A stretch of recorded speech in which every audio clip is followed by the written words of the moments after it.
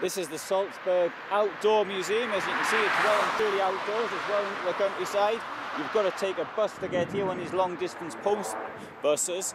Well, not really long distance, but uh, not really city buses, so that's what I mean by that. 180, and it stops here, and there's two of them every hour. I was lucky, I just turned up at the uh, station, and there was one there, came in immediately. I didn't even have time to look for where it had to stop. This museum is over 50 hectares, so it's pretty big. And I'm not going to have a lot of time to see it because, as you can see, the afternoon is now advanced. I went to two other things this morning. This is part of the problem, if you like, with the Salzburg card. There's so much to do and see with it that you can't uh, really see it all. And uh, I really wanted to go on the boat this afternoon because there's a, a river cruise and that's at 3 and 4 o'clock.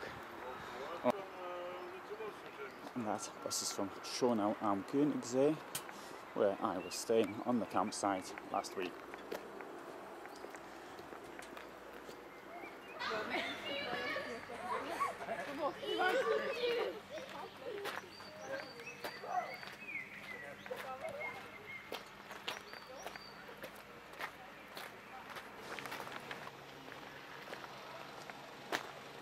Now I know you get around here on the train, so the train seems as good an idea as any to kick off with.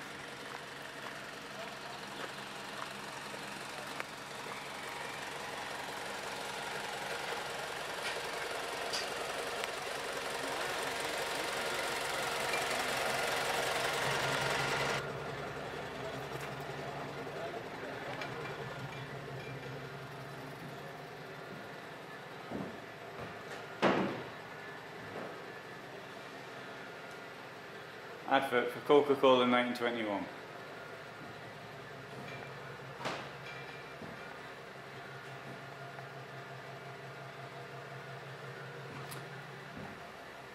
Eighteen ninety eight timetable. As you can see the train is included in the entry price. This railway station was in use from 1887 to 1928. It was a railway station used as a tourist destination on the side of a mountain and it was closed in 1928 because people uh, began to have cars, well those could afford to go there anyway, and uh, there wasn't really any longer much call for it, but it served a railway within a cog railway. and it was rebuilt here as are all the buildings here. Now, um, two weeks ago I was a place called the Museum of Tyrolean Farms where uh, farm buildings were taken from all over Tyrol, saved, some 500 years old, very interesting.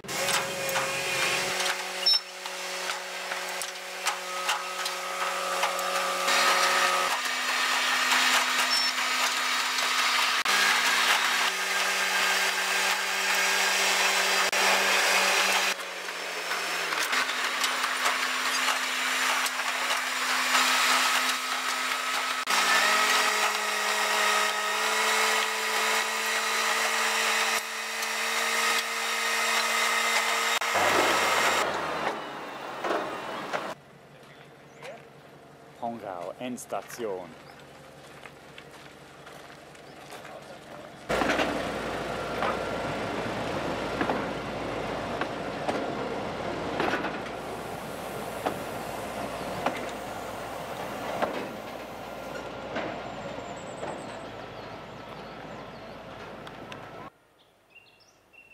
Now this railway stop at Pongau was in use until not so long ago, until 2011. It was a railway station. Can I use that word station in this case? I don't know. It was in the Moor Valley and then it was moved 400 metres when they uh, dug the railway line up in the 1970s and it served as a bus stop and it was brought here in 2011 which makes me think of course that you know, the bus stops we used today will one day I hope end up in museums like this.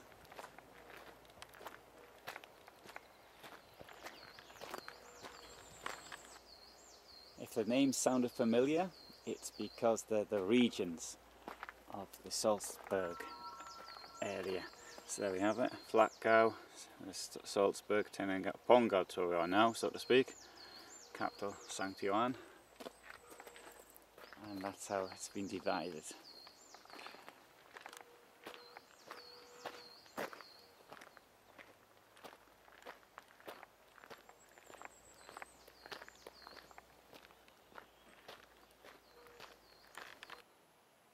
That's a stable from 1719. Looks quite luxurious in my opinion. Horses were the bottom, hay was kept at the top. And see a place here, sort of two uh, areas for the horses. One there and one on the other side. Here in Pongau We've got all the buildings which are needed for an alpine farm, the residential house, the stable, the corn barn, flax roast barn, cabbage barrel, baking oven and kitchen garden.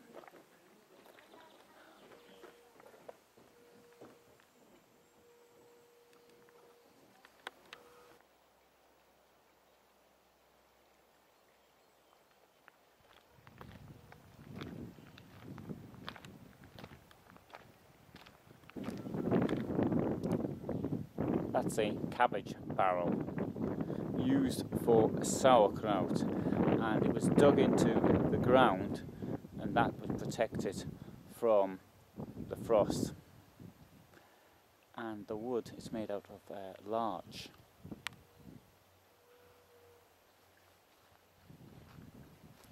Now it may seem like uh, alpine idyll but it wasn't. Very tough life for people course, it was a tough life just for everybody everywhere at that time, and even tougher when overpopulation forced people to leave the countryside for the towns because the towns were making the farming implements, the industrial revolution, and so people left the land because of poverty, found an even tougher situation when they got to the industrial centres.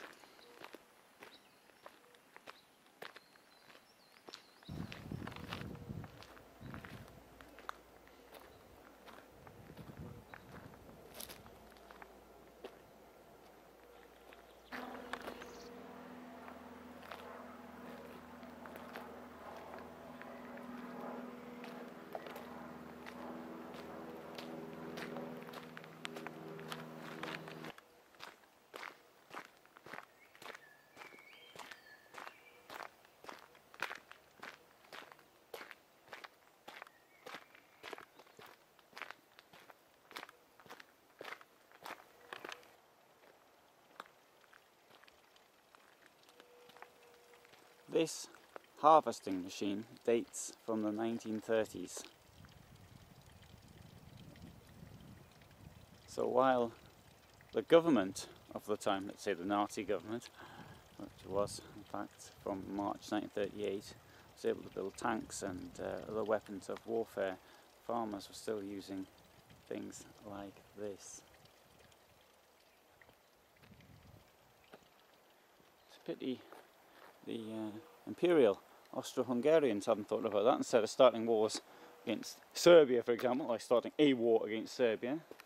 The money used in that would have funded a lot of farming. Much better idea in my opinion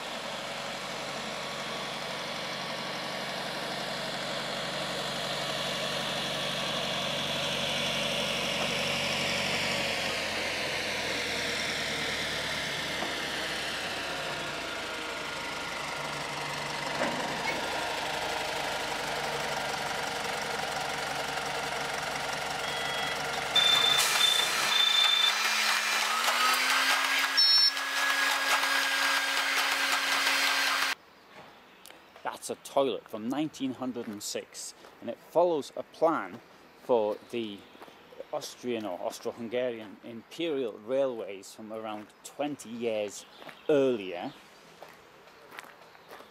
And uh, so got urinal and you've got uh, the WC if you like, I think that's the right word to call it, uh, the, the, the, the, toilet. And underneath it there was a cesspit and the cesspit had to be cleaned out manually.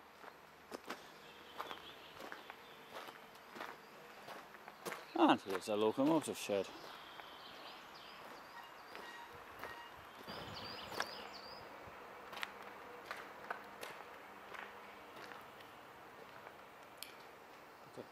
I termed earlier the cog railway.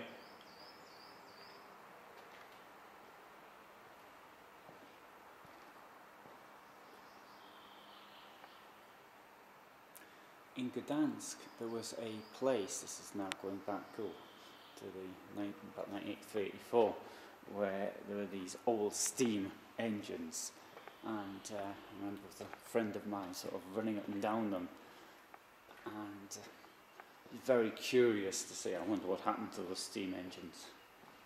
In socialist Poland, they were in use all the time. In fact, uh, I think they were withdrawn in the 1990s.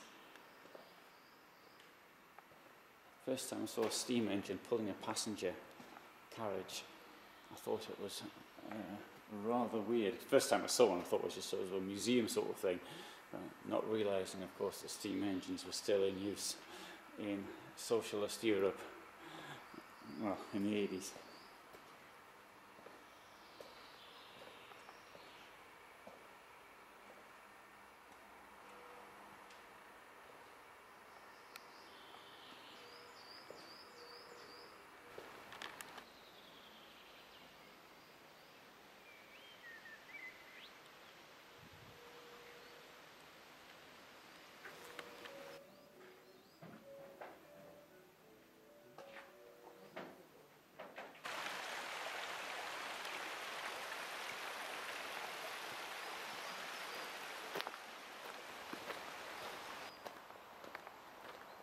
Toll booth.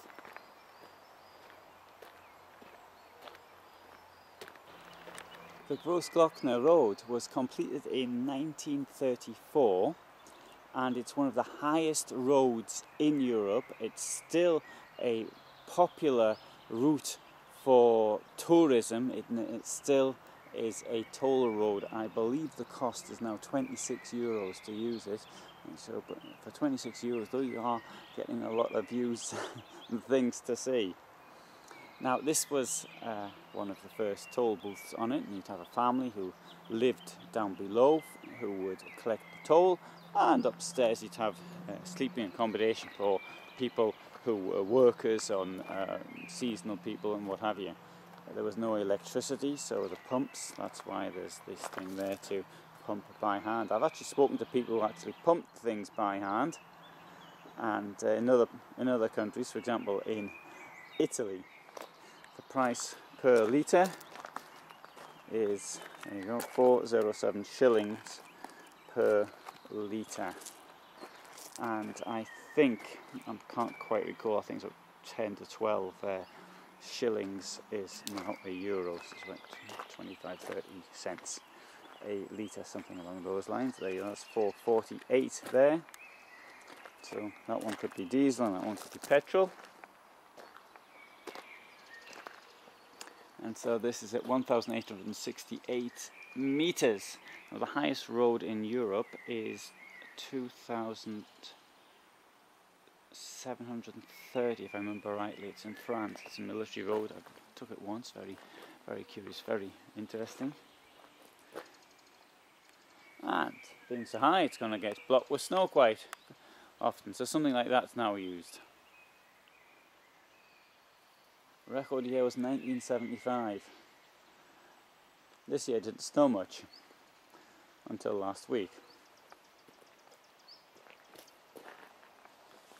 And the toll was paid not by vehicle but by person. That's quite unusual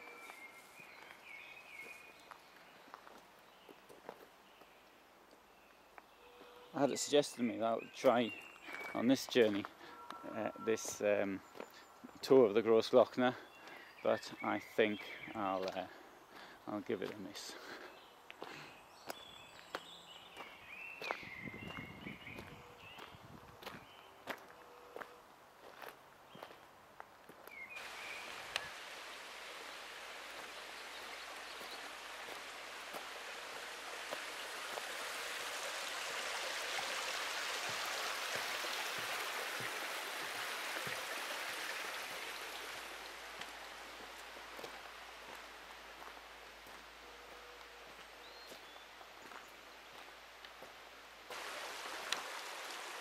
The mill dates to 1847. It was used until 1970, although in the latter stages of its life it was only used for the rough grinding of cattle fodder.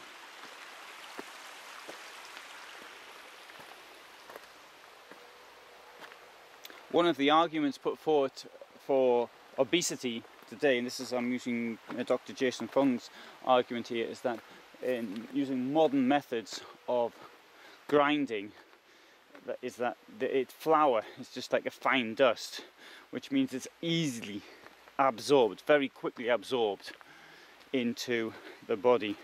And therefore, bread is a major source of obesity. Having said that, there's another argument. I can't quite recall the, the person who came up with it, his name now, but he's come up with evidence that people in ancient Egypt also had problems with obesity and diabetes that's because you can do examination of mummies and you can see fat people in hieroglyphics and uh, models and things that they used. Therefore, and what they would be doing very rough ground. In fact, they used to even add sand to it to sort of help them grind up the flour. And adverts have been found, for example, saying things like, don't buy Allen's bread, it's all full of sand.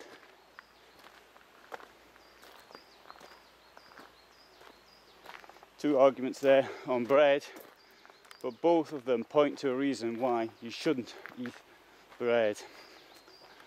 I like bread, I like it a lot.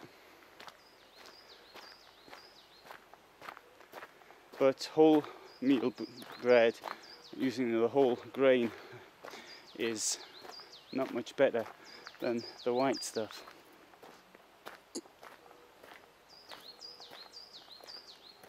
a charcoal making hut.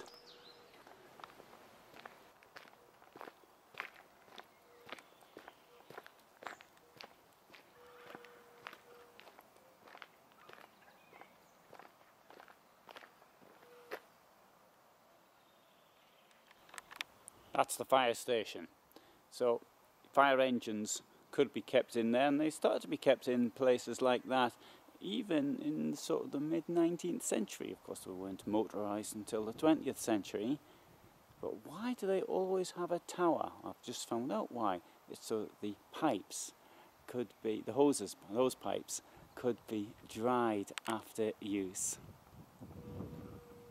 Be, they'd hang them up in there and let them dry. That's the maypole, I think. Today's the 2nd of May, so it might have been used yesterday.